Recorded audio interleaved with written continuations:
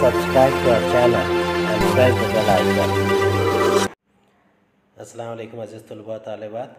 जमात नहम के बैरूनी अमल तीसरे सबक इसके हिस्से अवल में आप तमाम का इस्तकबाल है। उम्मीद है आपको पिछला वीडियो पसंद आया होगा।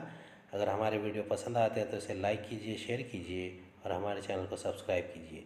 चलिए शुरुआत करते हैं सबक नंबर तीन, बैरूनी अमल हिस्से अव्वल। यहाँ कुछ शक्लें दी गई है। सबसे पहले गुंबद नुमा टेकड़ी की परत रेजी। आप इसे समझ लीजिए।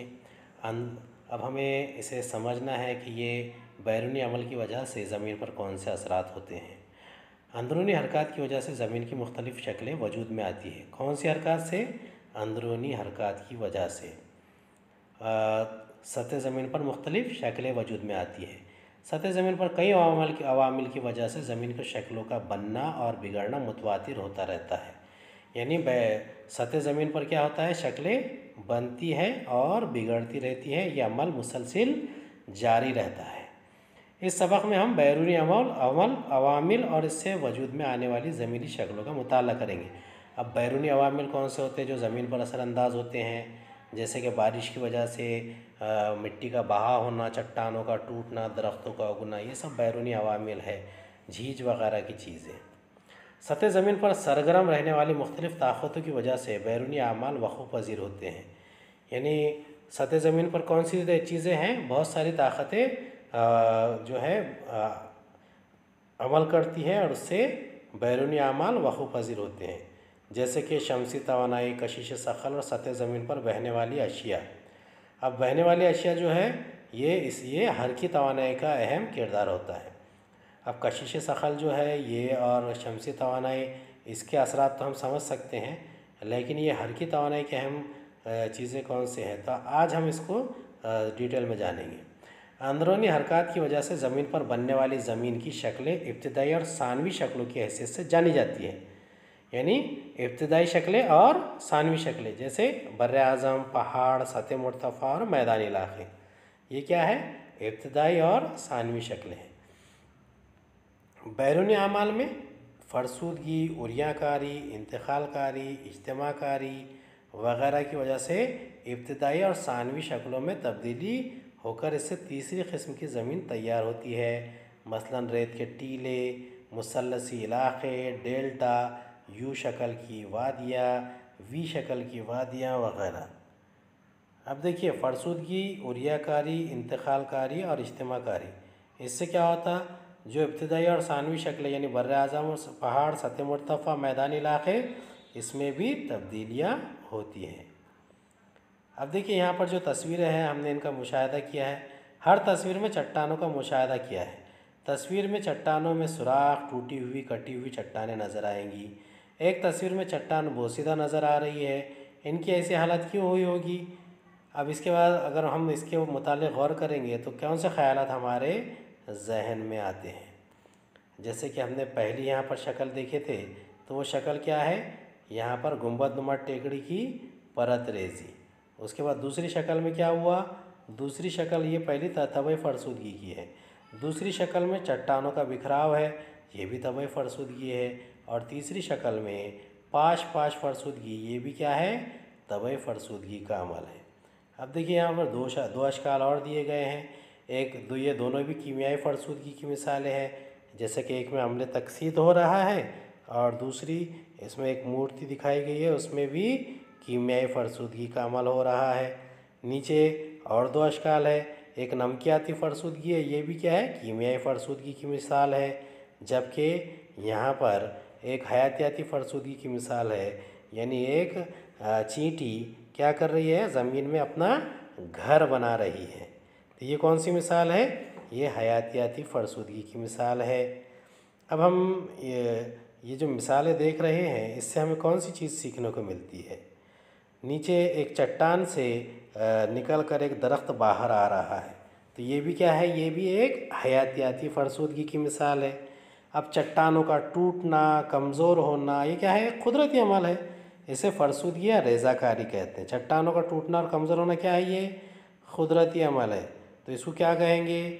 इसे कहेंगे, ये फरसूदगी या रेज़ाकारी है।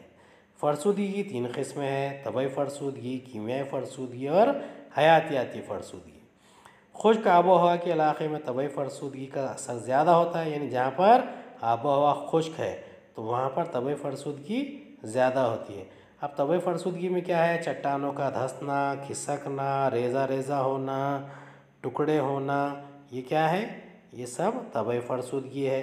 जबकि मरतूब आबो हवा के इलाके में कीमियाई फरसूदगी होती है, यानी जहाँ पर मरतूब आबो हवा है, रतूबत है आबो हवा में तो वहाँ पर कीमियाई फरसूदगी ज़्यादा होती है। अब हयातियाती फरसूदगी किस वजह से होती है? ये तो जानदारों की वजह से होती है। तब देखेंगे हम कि तबई फरसूदगी क्या है, और उसके मुतालिक हम यहाँ एक तजुर्बा भी करेंगे। एक प्याज लीजिए, इसे दरमियान से काट लीजिए काटे हुए हिस्सों का मुशाह कीजिए। आप इस प्याज की हर परत को अलग करने की कोशिश कीजिए। आप ये तजुर्बा घर पे भी कर सकते हैं। अगर आप प्याज काट कर उसका तजुर्बा करेंगे तो आपको समझ में आएगा कि वक्त के साथ साथ प्याज की उन परतों में कौन सा अमल वक़ू पजीर होता है। अब जोग्राफी वजह वजाहत देखते हैं उसकी।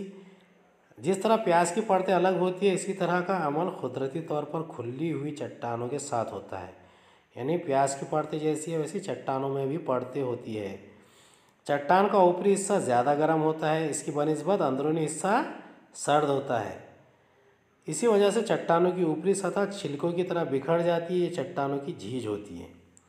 अब देखिए, यहाँ जो शक्ल दिखाई गई है, इसमें झीझ का ही मुजाहरा कराया गया है। यानी ऊपरी जो शक्ल है, वो शक्ल क्या बताती है कि चट्टानों में जो अमल हो रहा है वो अमल चट्टानों के ऊपरी हिस्से में जो बिखराव का अमल होता है, उसी वजह से तबई फरसूदगी हो रही है। अब उसकी अहम वजूहत क्या है? तबई फरसूदगी की अहम वजूहत क्या है? सबसे पहले अहम वजह है दर्ज हरारत का बढ़ना, कम होना। उसके बाद इंजमात, यानी नुक़ इंजमात पर चले जाना, जम जाना पानी का जम जाना, बर्फ़ का जम जाना। उसके बाद तीसरा क्या है? खलमाओं में इजाफ़ा होना, यानी खलमाओं का अमल होना। उसके बाद दबाव का अखराज होना और पानी। पानी भी एक बहुत अहम किरदार अदा करता है। सबसे पहले देखेंगे कि दर्ज हरारत की वजह से कौन सा अमल दरपेश होता है। दर्ज हरारत, बढ़ते हुए दर्ज हरारत की वजह से चट्टानों के अंदर मादनियात गर्म होकर फैल जाती है। यानी दर्ज हरारत बढ़ेगा तो क्या होगा? ज़ैर ज़मीन जो मादनियात है चट्टानों में, वो क्या होगी? फैल जाएगी। दर्ज हरारत होने, कम होने की वजह बाद ये सुकड़ जाती है। यानी दर्ज हरारत बढ़ेगा तो ये फैल जाएगी गर्म होकर और कम हो जाएगा तो सुकड़ जाएगी।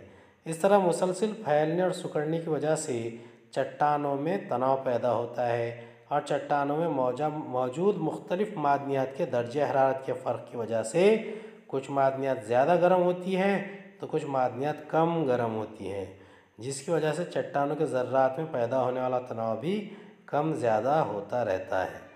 यानी कि अब देखिए मादनियात यानी जो मेटल्स होती हैं, जैसे कि लोहा है, मैंगनीज़ है, या फिर सोना है, या दीगर ऐसी अशिया है, जिनका दर्ज हरारत कम ज़्यादा होता रहता है तो हर एक के दर्ज हरारत के हिसाब से चट्टानें गर्म होगी तो वो उसमें भी दर्ज हरारत के, की वजह से क्या होगा?